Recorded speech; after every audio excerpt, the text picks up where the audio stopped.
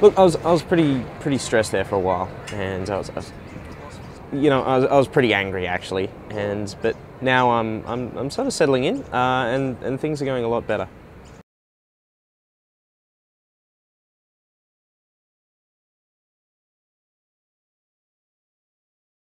Yes, Nathan seems a lot happier and focused with his studies. He's handling his workload and classes much better.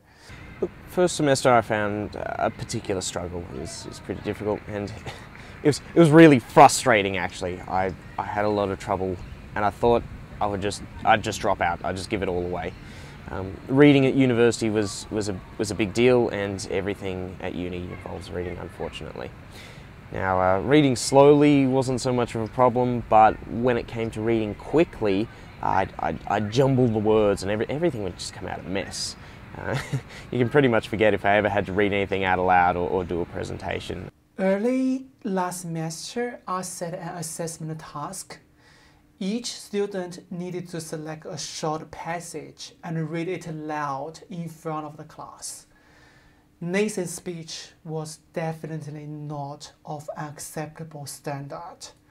It's not just reading that I struggle with, it's also writing. And what makes perfect sense up here in my head, when I write it down on paper, it doesn't quite come out the same way. It's often sort of jumbled and a bit of a mess. Now, uh, I a little upset recently because I had this big important essay and I got a really bad mark, uh, which was, as you can imagine, pretty upsetting. And to make matters worse, I just sort of got feedback from the lecturer in the margins just saying, you know, check your spelling and, and try harder. So it's, you know, a bit upsetting. uh, it, to make matters worse, when I, when I get stressed or tired, uh, it, it really confounds the situation. Well, the first I knew about Nathan's situation was when I received an email from his tutor he was um, he outlined some unusual behaviour during one of his assignment presentations. I remember thinking maybe this student is just lazy or having a joke or something. I wasn't too sure what was going on with him, but I do know he did not pass that task. I let his lecturer know about it. I wasn't sure how to approach the issue, so I contacted the student um, uh, campus campus wellbeing. So registering with, with campus wellbeing for support was, was pretty straightforward actually. Um, they, they gave me the option of, of keeping my whole situation confidential if I wanted to. And just the fact that, that I could keep it confidential was, was really reassuring. Some students who receive support choose not to disclose this information to their lecturer. In Nathan's case, he's okay with his lecturer knowing. Anyway, uh, after, after organising the support with Campus Wellbeing, uh, we met up with my lecturer and we talked about uh, a number of things and, and reasonable adjustment. Well, I understand it's not my role to know the details of each and every student in my lectures, but it is my responsibility to make sure that they receive care and support. Um, a referral, for instance, or reasonable adjustment to their assessment items.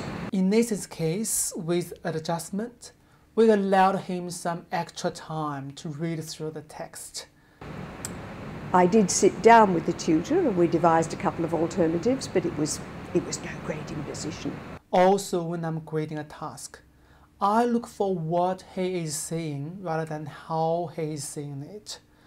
I look for actual content, not so much grammar and spelling.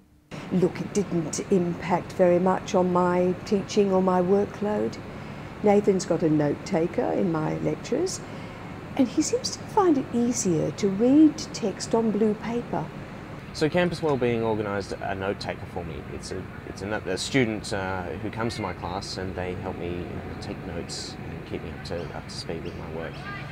Um, it's it's it's actually really useful because they don't give me an advantage as such, but they just keep me on the same level with the rest of the students, which which really helps out. So I've also got the option of, of using technology to, to support me uh, and help me out reading. Um, there's there's a great technology which uh, which I can use at the moment. Which uh, what it does is it reads out each word and highlights it as I go along. Um, now I've been using this uh, for a little while at home, but uh, a lot of the computers here on campus have it as well. So it's, it's great for support for me and, and lots of access as well. Oh yeah, the screen reader technology is so amazing. I'm so glad that Nathan was comfortable enough to seek out the help from Uni Support Services. It's really helped him. It's so much easier for him to read. It reduces the pressure of reading.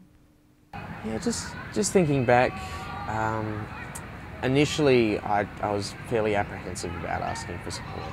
I, I think that I, I, didn't need it, I didn't want it, um, and I thought, no, no, no I'll, I'll, be I'll be fine with this. We, we can get through this. But as it turns out, I, I did need a bit of help, and I'm, I'm really thankful that I decided to, to get that support, and I was really grateful that it was available to me. I think it's important that we work together for Nathan's benefit. You only need to look at his more recent assessment to see how much he has improved. So I got I got this really important essay back recently, and I got a great result. It was probably my best result uh, to date, and so I'm pretty happy with that.